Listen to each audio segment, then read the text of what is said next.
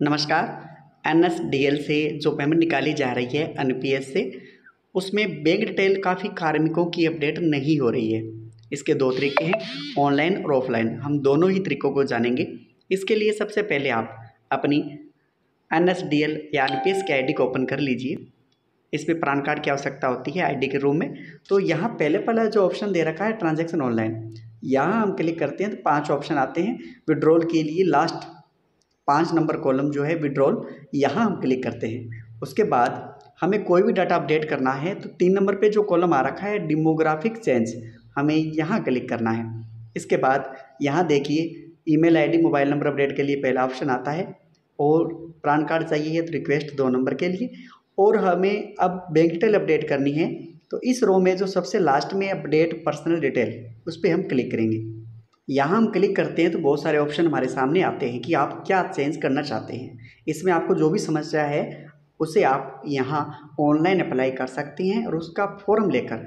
अगर आप अनपेज डिपार्टमेंट जाते हैं तो आपका इजीली बहुत जल्दी हो जाता है। ऑनलाइन, ऑफलाइन दोनों ही तरीके हम आज जानेंगे। तो यहाँ हमें बैंक डिटेल अपडेट करनी है तो यहाँ पे हम क्लिक करेंगे बैंक डिटेल अपडेट पे। अब यहाँ बैंक डिटेल अपडेट पे क्लिक करते हैं तो अपडेट बैंक डिटेल। यहाँ हम क्लिक करेंगे। अब यहाँ आपकी कंप्लीट जानकारी आ जाती है और यहाँ आपसे बैंक डिटेल मांगी गई है। तो यहाँ आप कंप्लीट करके यहाँ बैंक पास बुक जहाँ आती है, वहाँ पे अपनी बैंक कॉपी की इस पर आपके M I S C R code हैं आई एफ़ सी कोड हैं, नाम है, खाता नंबर है, सब अच्छे से साफ़ दिखाई दे, उसकी पी डी बनाकर यहाँ अटैच कर दीजिए और कन्फर्म कर दीजिए।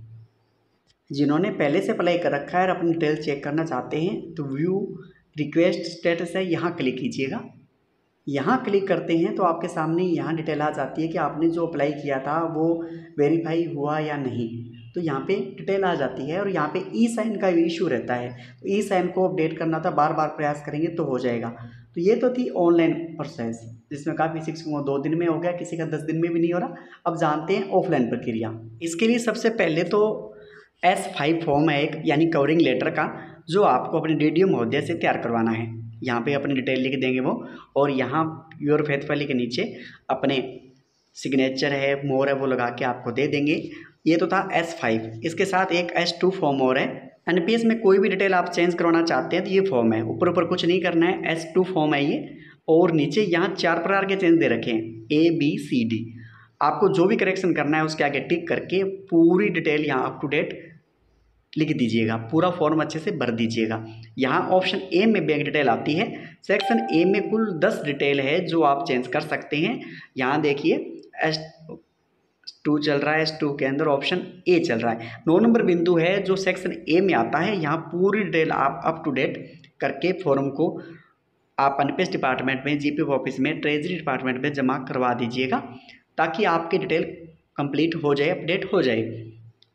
ये जैसे ही करवाओगे, एक दो दिनों में हो जाता है, विभाग में जाकर। ऑनलाइन भी हो जाता है, लेकिन अभी भीड़ बढ़ी हुई है तो नहीं हो रहा है। तो ये फॉर्म दोनों आप मेरे टेलीग्राम आईडी से ले सकते हैं और वहाँ से प्राप्त कर सकते हैं। इससे संबंधित कोई भी सवाल है तो आप इंस्टाग्राम टेलीग्राम ट्विटर कहीं भी एसएमएस कर सकते हैं। चैनल को सब्सक्राइब ज़रूर कर लीजिए, ताकि सभी महत्वपूर्ण वीडियो आपको मिलती रहे। वीडियो को शेयर करें।